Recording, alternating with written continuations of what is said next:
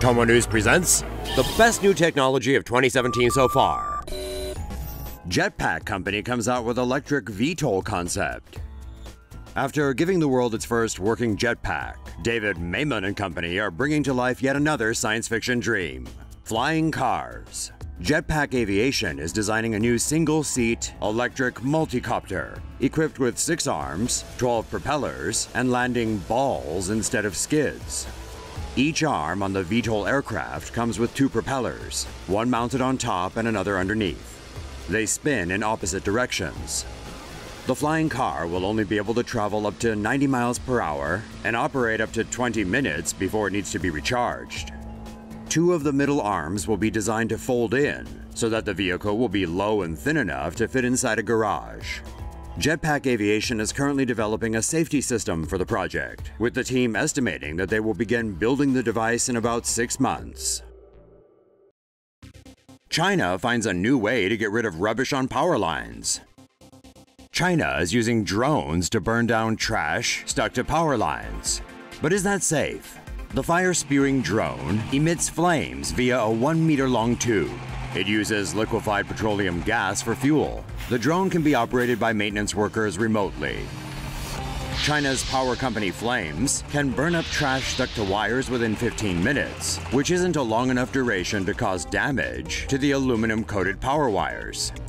The power company says this method is not only more efficient to get rid of waste stuck to power lines, but it also reduces the risk of maintenance workers being electrocuted by high voltage lines. This six rotor personal drone would be an awesome way to get around. Ever since the Jetsons, who hasn't dreamed of owning a flying car? That day, an electrical vertical takeoff and landing vehicle can replace the gas guzzler in the driveway. But what if you just want to zip around the neighborhood? Well, then the Solexa is the whip for you. The Solexa is designed for shorter flights of about 20 minutes. Imagine skipping over traffic on your way to work.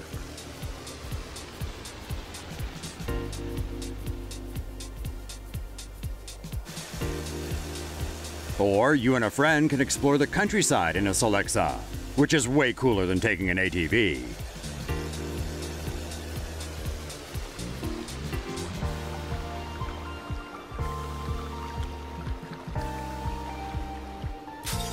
Its designers also think the police might find the Solexa useful. Cops riding a Solexa could quickly respond to a crime scene and then report back to a command center. Navigation would be automated. Punch in coffee shop and the Solexa is programmed to take you there.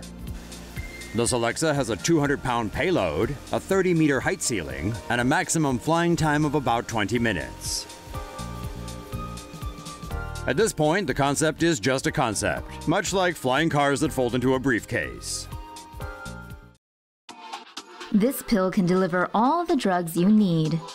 Researchers at MIT and Brigham and Women's Hospital have developed a single capsule that can gradually release medication over an extended period of time. Medication is loaded into the arms of the star shaped pill. The arms can be folded inward to form a single capsule. The acid in the stomach dissolves the outer layer of the capsule, thus allowing the six arms to unfold. The star shape then allows the capsule to stay inside the stomach instead of being immediately pushed through the digestive tract. Animal tests confirm that the capsule is able to gradually release medication over two weeks' time.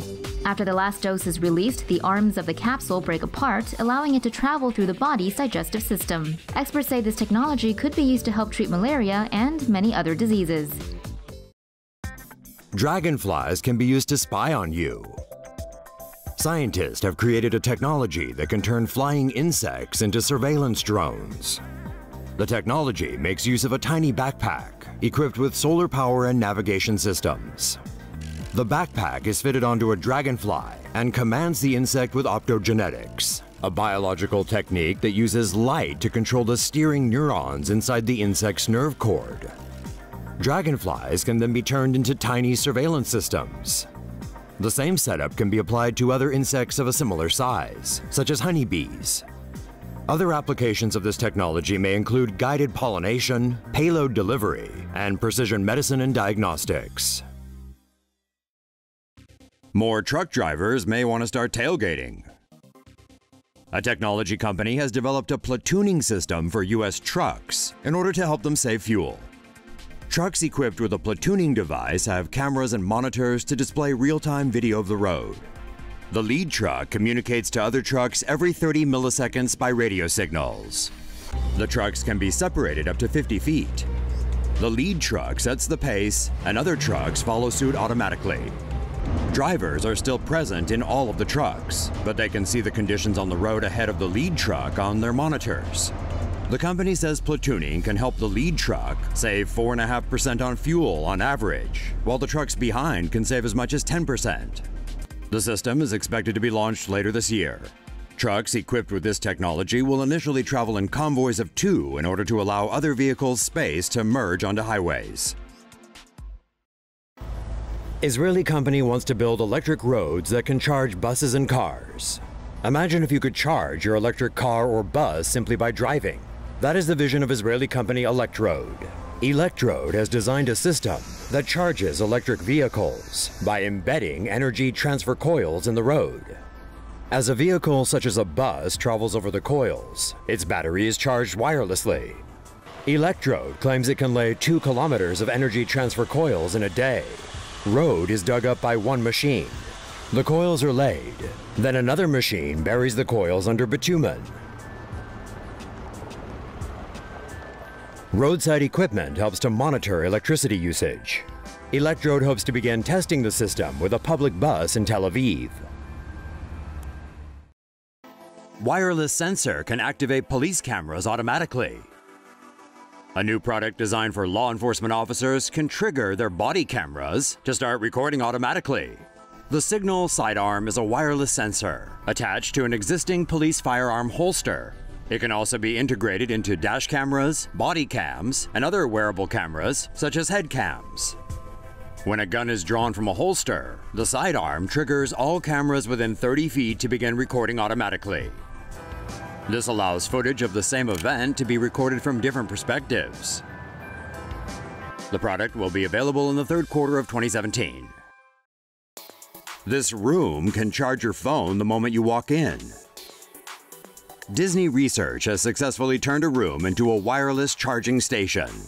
Quasi-static cavity resonance is a method that induces electrical currents in an enclosed metallic structure. Power generated and amplified outside the room is picked up by a coil receiver inside the room, then transmitted to discrete capacitors inside a copper pole. The induced currents flow through the pole, ceiling, walls, and floor, generating an electromagnetic field. 10 devices were powered by the room simultaneously in this experiment. Researchers conducted the study according to federal safety guidelines and believe this method should cause no harm to the human brain or body. Car parks could become the lungs of a city.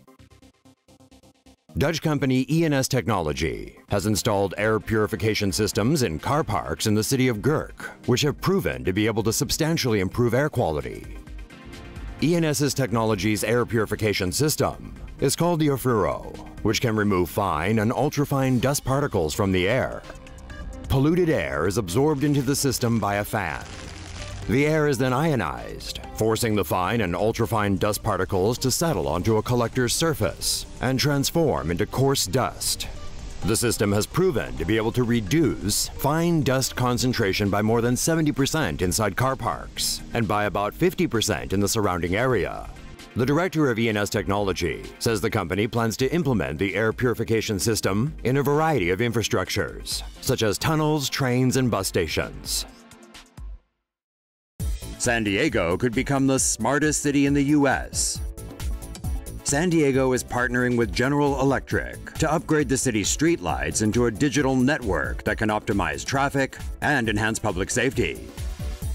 More than 3,000 streetlights in San Diego will be equipped with real-time anonymous sensors, cameras, and microphones. The streetlights will be connected to form an IoT network. The streetlights can measure air quality, locate vacant parking spaces, monitor traffic flow of vehicles and pedestrians, as well as detect gun violence. The city will also replace 14,000 streetlights with technology that allows them to dim or brighten manually or automatically, according to natural light conditions. The installation will begin this summer, with the potential for 3,000 more sensors to be added in the future. India gets set for nationwide cashless payment system. India will be one step closer to becoming a cashless society after introducing this technology. Dubbed Bharat QR Code, the payment system lets customers buy items by using their smartphone to scan a quick response code generated by the store. This is expected to eliminate the need for card swipe machines for electronic transactions, with stores using codes instead.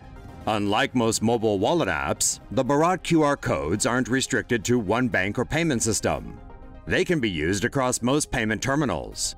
It operates in two ways. Users can have a QR code for one store and pay by entering their PIN. Or the store can create a code for separate transactions, with no PIN entry required. With the country's demonetization crisis hitting the rupee hard, New Delhi hopes their population of 1.2 billion will be quick to adopt the new cashless system. Three-wheel car turns into a flying gyrocopter. Dutch company PAL-V has designed a car that can fly you out of traffic jams. The PAL-V Liberty can easily shift from flight mode to drive mode. The vehicle is about the size of a regular car and can carry two people. The car can accelerate from 0 to 100 kilometers per hour in less than 9 seconds. Its lowered suspension system allows it to tilt when going into curves. The manufacturer suggests using a runway at least 280 meters long for takeoff. The car has a maximum operating altitude of 3,500 meters. It can land on an airstrip that is significantly shorter than what it needs to take off from. If you're interested in getting behind the wheel of one of these bad boys, you'll need both a driver's license and a pilot's license. Tech is taking over. All around the world, machines are slowly taking up tasks once reserved for humans. In the hospitality industry, customer service and satisfaction is the endgame, and what better to cater to your needs than an inexhaustible programmable automaton? Hotels in the future could be entirely staffed by machines, starting with realistic-looking cyborgs welcoming guests at the front desk. Checking in will be done via a self-service kiosk, which includes facial authentication for keyless entry. A robot-operated cloakroom will be available for guests who need to store or retrieve belongings. Instead of a bellhop, an electric porter will carry luggage while leading the way to the guest's room. Smart room controls detect motion and adjust lighting and temperature accordingly. Items may be bought or requested and will be delivered directly to the rooms.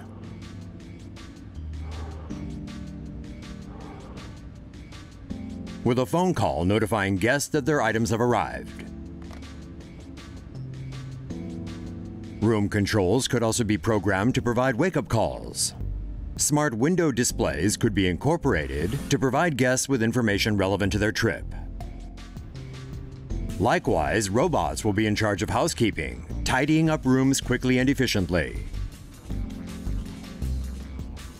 Soon, even meals will be prepared by programmable robot arms and then served by robotic waiters. A robot concierge will also be on hand 24-7 to answer guests' questions and help with booking and arrangements. Fully automated hotels may not be too far off. Japan already has the Henn na Hotel in Nagasaki, with more on the way.